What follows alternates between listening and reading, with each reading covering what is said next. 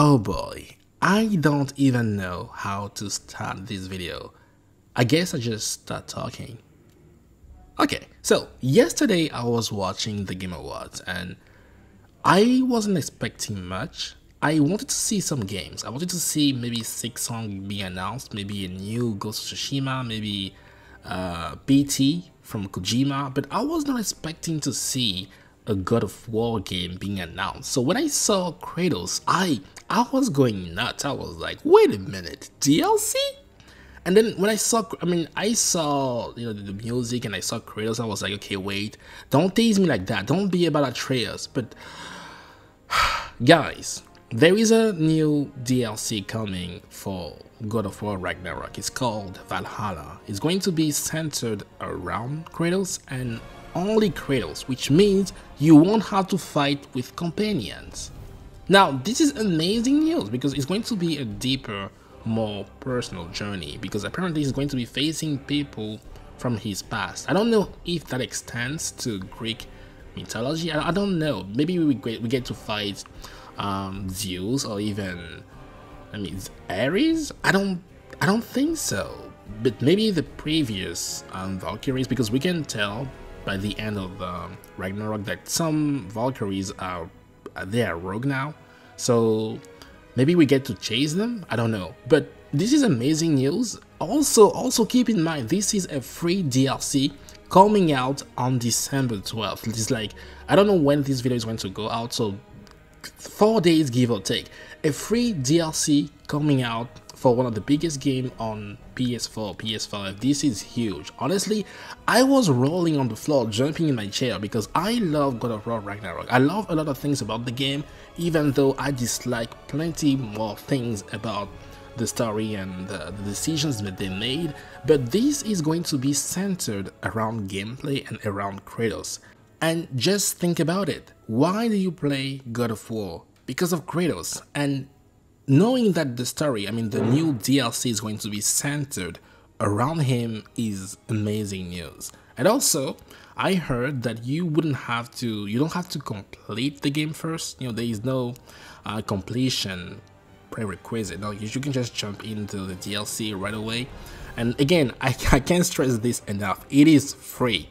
You don't have to pay anything other than the okay I do need to mention that you need to own the game first. Yes you need to own God of War Ragnarok first if you want to play the DLC this goes without saying but you know people are weird. Anyway this is going to be a brand new take in the series because it's, it's going to be a rogue-like and I think maybe people are not familiar with the you know that kind of approach but usually you start off with nothing and you gradually make your way toward I'll say uh, a, a goal, which sometimes it never happens. Sometimes you never get to the end. You just keep evolving, keep upgrading until you get bored and decide to play something else.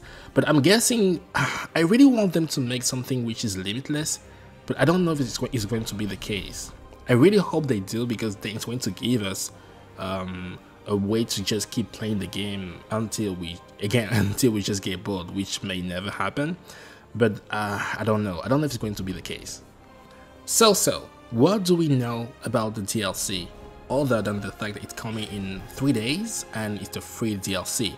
Well, um, first of all, you don't, again, like I mentioned before, you don't have to beat the story if you want to jump into the DLC, but it is recommended as there might be some spoilers, so yeah, so beat the game first and then jump into the DLC. But because they said you don't need to beat the story, maybe you don't need builds or even armor or new game plus i don't i don't think any of it is going to be relevant. I do think you can carry over your cosmetic like the the way your armor look you know but i don't think it's going to be useful in game i think you're going to start with base equipment and you will gradually make make it uh i mean upgrade your starting kit until i mean the more you play the dlc so i don't think which is i, I don't know i feel like it's okay you know if we just start anew instead of just starting overpowered and having to destroy everything it's going to be a brand new journey so it's better to i'll say experience it with ah, like a beginner you know because i have completed the game three times and I mean twice on New Game Plus. I'm pretty busted when it comes to builds and strategy, so I think it's, it's not too bad if I have to start all over again. You know, I don't want to destroy everything. And by the way, I also think there's going to be difficulty. Difficulty options, you know, just like in the base game, you know, give me Mercy, give me Balance, give me God of War. You know, maybe they won't be called exactly that, but you would have different difficulty options. I don't I don't think it's very common when it comes to roguelikes because usually you have one difficulty and that's it. But I, I guess they were trying to make it um, I don't know, more accessible to more people, and I guess that's okay. So if you want more challenge, then you, choose the higher difficulties, and maybe it's tied to your reward. So basically, if you play the game harder, then you get better rewards. I hope they go that route as opposed to just, you know, doesn't matter what difficulty you play. I really hope they do something about the difficulty because I think I think this game shines when it's very you know when you when you wait when you just want to kill you I mean to to to suffer. Yeah if you just want to suffer. Something else to keep in mind is well yeah like I think the the armor you get in game is only going to be cosmetic it's not going to affect your stats. So it's going to be all skills which I love you know? I think this game has great combat. I love switching back and forth from between Draupnir and the blade, even the, the, the axe, and I think focusing on the combat is what they should do moving forward, you know. The story is great, I mean, to some extent, but I think doubling down on the gameplay is it's a great call, you know, giving us more ways to play, and oh boy, I think people everybody should be excited about this. You know, no companion, nobody to tell you that you know sigil arrows don't work on this. You know, nobody to spam that. Nobody to. I mean, you, there's still Mimir to tell you to uh, to block. Or, uh, but to be honest, I think Mimir is he, he's he's okay. You know, I would take Mimir over anybody else any other day. You know, Mimir is great. He's okay.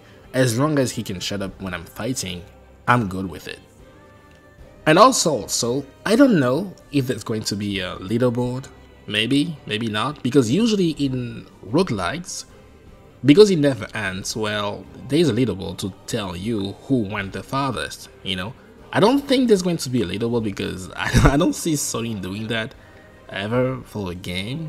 I mean, they did that for Returnal, so maybe they might do that for... I don't know. It just, it just doesn't feel like God of War.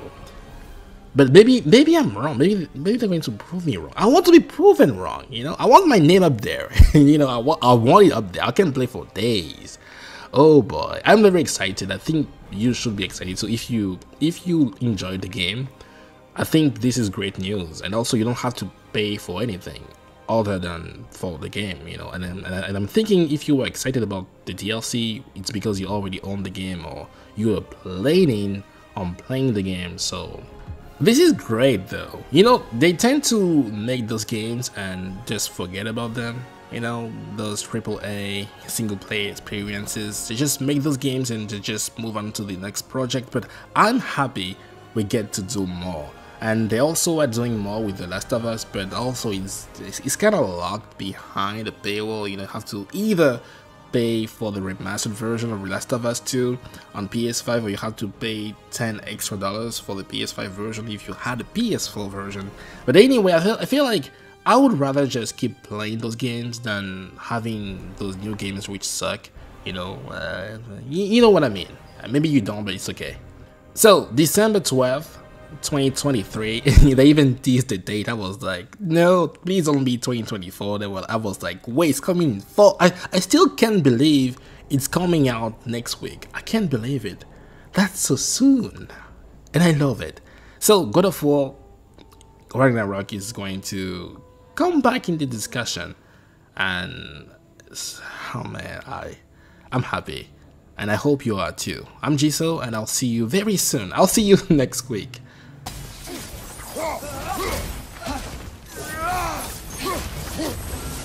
You pay with your life!